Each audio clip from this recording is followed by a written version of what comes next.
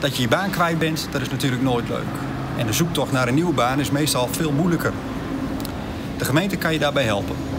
En probeer je op dat moment ook op de juiste manier op weg te helpen.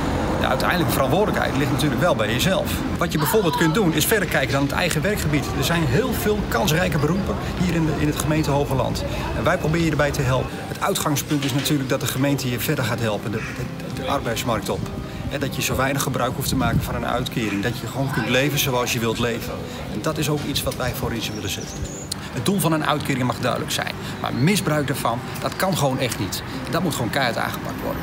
Het uitgangspunt van de VVD blijft altijd dat je je eigen verantwoordelijkheid is. Dat je je zo snel mogelijk weer aan de bak kunt gaan.